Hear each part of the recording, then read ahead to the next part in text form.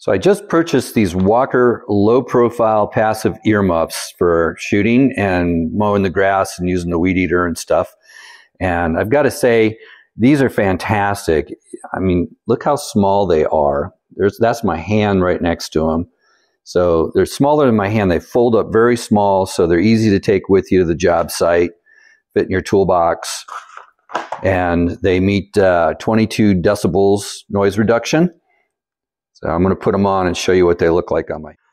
But before I try them on, I wanted to just talk a little bit about the headset a little more. Uh, it does have a, a foam padded headrest on the top, and the adjustment is on the side here. So it's on these on these wires. So it's pretty smooth movement to adjust them, but I'm a little concerned that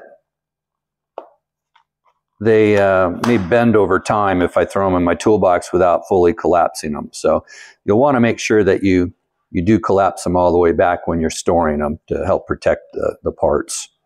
Uh, the plastic also feels a little thin here, but I think they're going to do the job just fine.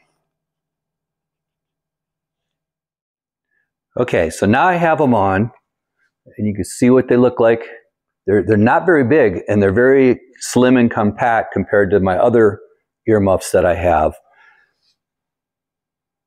They feel really good. They're, there's uh, just the right amount of tension. I think I could wear these for hours on end if I had to. And they do fit over my hat just fine. Feel very comfortable. And they are, they, they definitely are reducing the noise a lot. So I'm going to recommend them.